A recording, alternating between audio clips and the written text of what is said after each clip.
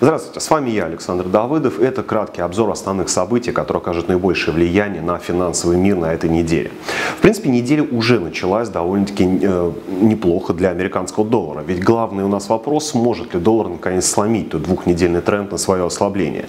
А, вышли данные по строительному сектору, точнее по индексу деловой активности в строительном секторе Великобритании, и он упал ниже 50 пунктов. А, дело в том, что э, и рынок недвижимости, и строительный сектор э, Великобритании является одним из главных критериев определения инвестиционной привлекательности экономики Соединенного Королевства. И снижение индекса ниже психологического уровня 50 пунктов – это явно негативный звоночек для фунта. Что же нас ждет далее? Вторник начнется у нас заседание правления Резервного банка Австралии по монетарной политике. Да, никто не ждет каких-либо изменений э, в параметрах этой самой монетарной политики. Однако, скорее всего, Банк Австралии э, будет э, занимать крайне выжидательную и осторожную политику. Ну, банально, надо же посмотреть на то, что делает ЕЦБ ФРС, которые, в общем-то, по-хорошему говоря, готовят общественность к тому, что, скорее всего, будут теми или иными методами пытаться смягчить свою собственную монетарную политику. Но осторожность и осмотрительность, э, особенно со стороны небольших центральных банков, всегда э, разочаровывает инвесторов, так что австралийскому доллару явно придется не очень сладко. Чуть позже будет еще веселее, так как будут опубликованы данные по э, инфляции в Швейцарии. Здесь все совсем плохо. А, она должна снизиться снизится с 0,6 до 0,5%. То есть дефляция становится все более и более реальностью. И здесь, конечно же, не стоит ждать какого-либо роста по швейцарскому франку. Но вот в самом конце дня а, доллару придется несколько уступить. Будут опубликованы данные по продажам новых домов, которые могут не просто снизиться, а обвалиться на 8,7%. Это очень существенное снижение. В среду Начнем мы с того, что будут опубликованы данные по ВВП Австралии. Они, могут, скорее всего, покажут нам, что темпы экономического роста замедлились с 2,8 до 2,6%. То есть тоже определенный негатив для австралийского доллара, ему вновь придется идти вниз. Ну а завершат день, конечно же, заседание Банка Канады. Здесь ровно все то же самое, что во вторник э, при заседании Банка Австралии.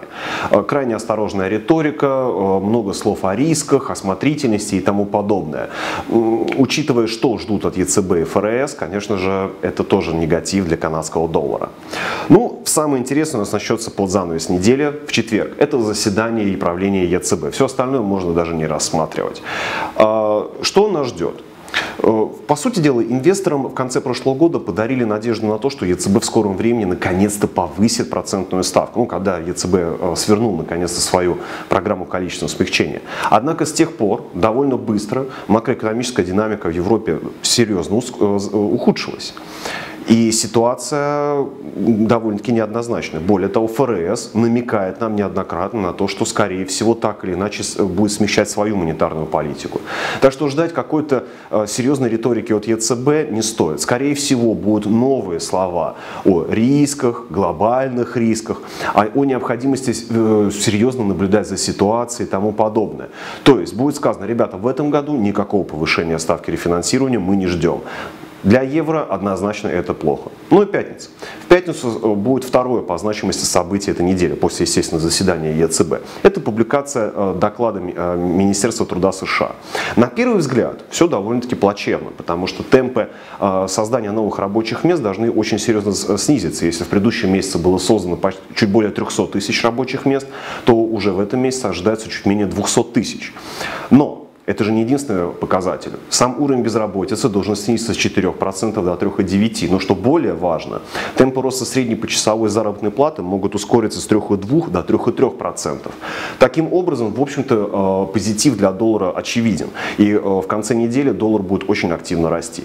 На этом, в общем-то, все. Э, удачных торгов и следите за новостями.